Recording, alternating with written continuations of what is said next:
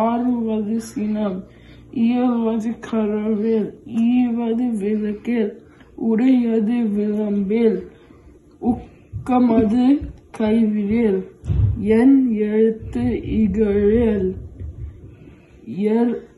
ஏற்பது இகழ்ச்சி ஐயம் இட்டு உன் ஒப்புரவு ஒழுகு ஒதுவது ஓதுவது ஒழியே